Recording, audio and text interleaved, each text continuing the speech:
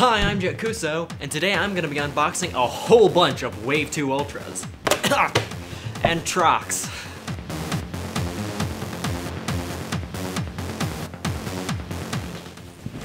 Ow. Bakugan, Wave 2. I went to Walmart, and they had a lot of Wave 2 Bakugan. Here's a clip.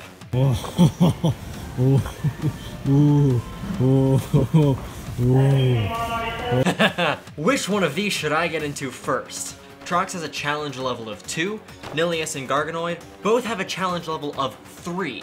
I don't even know if I have a challenge level 3 yet, so these are both going to be really interesting. I've, I've opened so many Darkus, so I'm going to start with Pyrus. Get out of here. Pyrus Garganoid. As you can see, it has that beautiful Ultra Bakugan art on the side. Uh, you can see the back of the package here. Something that I just noticed is Ultra Bakugan on the back of the package. This little design is not Dragonoid. It's uh, Hydorous, Ultra Hydorous. But okay, let's get into this. That's all the packaging you need to see. I'm getting better at opening these. I'm gonna be more careful with the cards than I usually am. Because sometimes these things come out just a little bit damaged just from the packaging, and that's annoying. Here's my cores, how to play, and both my little catalog and the instructions. Here are the instructions on Pyrus Garganoid. I tend to not look at these because I like to treat them a bit more like a puzzle. Put all this to the side. See what we got. I'm gonna close them up. Wow. I should have looked at the instructions. I have no idea what I'm doing here. Oh my gosh, they're so detailed. Oh man, I should have looked at the instructions. This is ridiculous. Wow, this is elaborate. I don't know what's supposed to go first, the wings or the tail, or... Okay, looks like the wings go in. This is so different from Season 1 Garganoid. Then you can kinda fold the tail up. I don't know if that's the right way to do it, but that's the way I'm doing it. I got it! Oh, okay. Oh my gosh. That's insane. Did that come with three cores? They're not supposed to, but it feels like... Did I grab one from over there? Is this just three? We're gonna throw all the footage back and see if I accidentally got three cores. Here's my cores.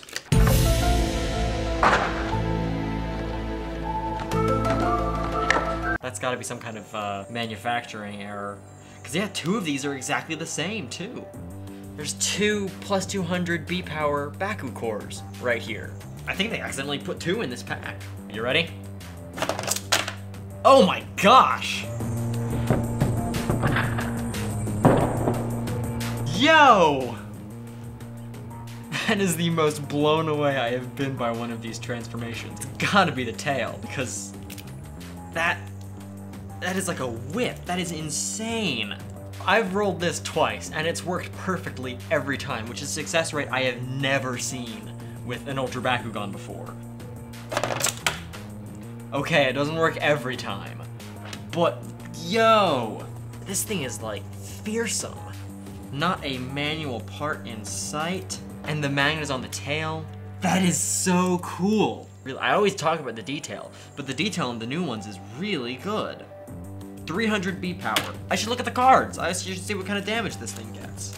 Ability card is a impact laser. I don't know if the ability cards are always the same or if they're random. It's not a, it's just a common. And then the Garganoid Ultra character card right there. 300 B power, 4 damage. That's a lot of damage. No, that's a lot of damage! I would just keep rolling this all day if I don't move on, and I've got a lot to get through, so let's go straight into Nillious. Packaging has got the thing on his, his... I'm so excited now. After that, there's no way Nillious or Trox is going to like live up to that hype because the hype meter is off the charts now. Of course, important paper, the instructions for the curious. Is the magnet on the tail on this one too? The magnet is on the tail on this one too. But it's like, it's way up there. There's no way this one's gonna actually land on its feet. At best, it's gonna be like that. I don't know. Let's, let's, let's find out. Okay, now I have to look at the instructions. I'm afraid I'm gonna break this. I'm chickening out. Oh, I see.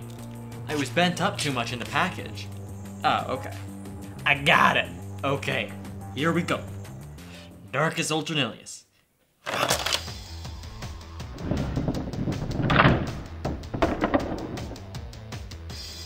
Interesting. He doesn't flip. He just stands up like an absolute unit.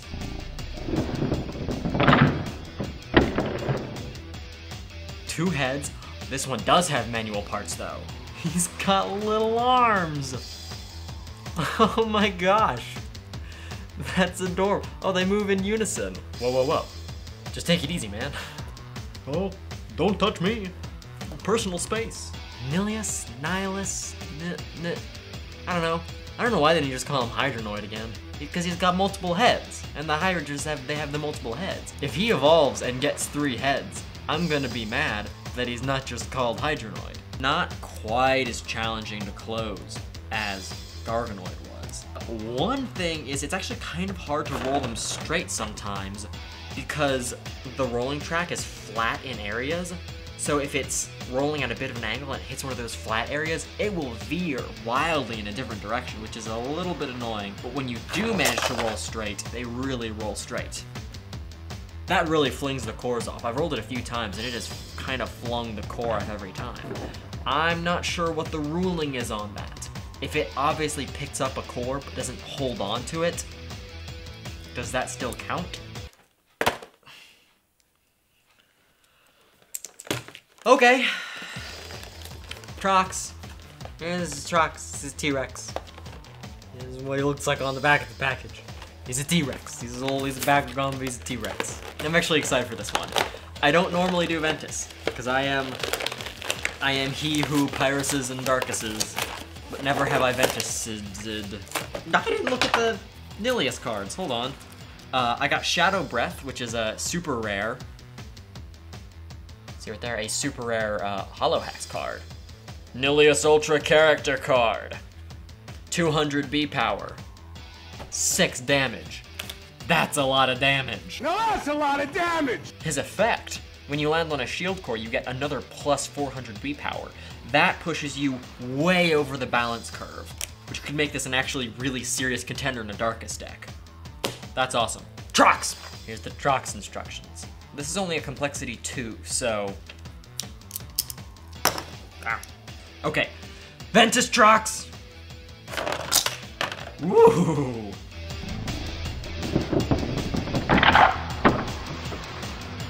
That's funky. How he's got it under his little chin. That's so adorable. Oh, and that's why it's so flat. Because it's the underside of his chin. I guess that's the closest they could get to him having it in his mouth. Yeah. That's so cute.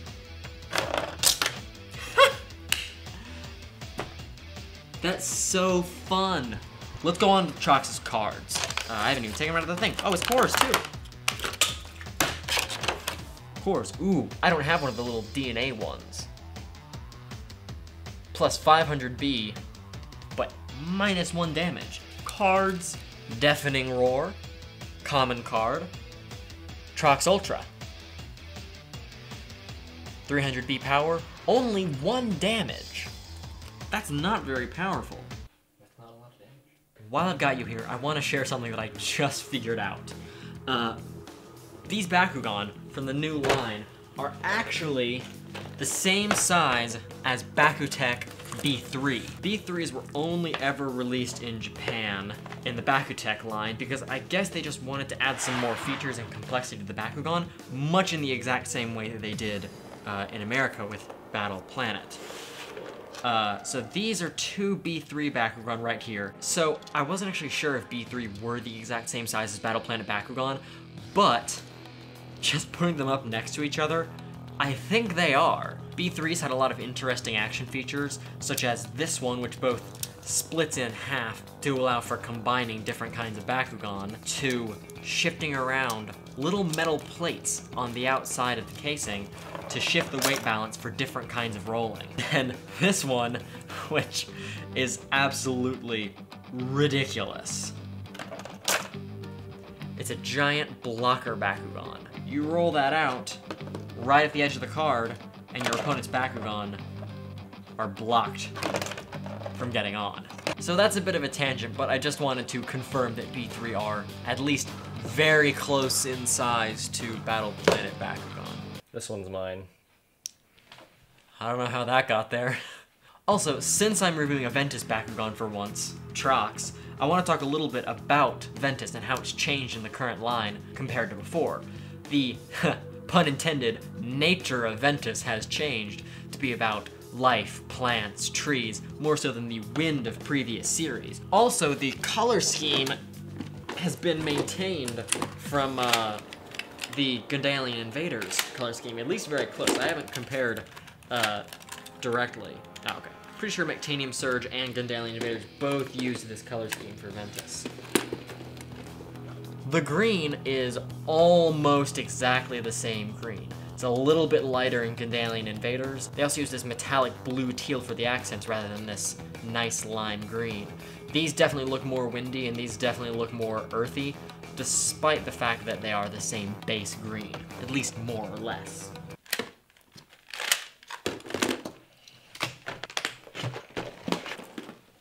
That's all I had to say about Trox, Garganoid, and Nillious, but let's go ahead and see some of these Bakugan in action.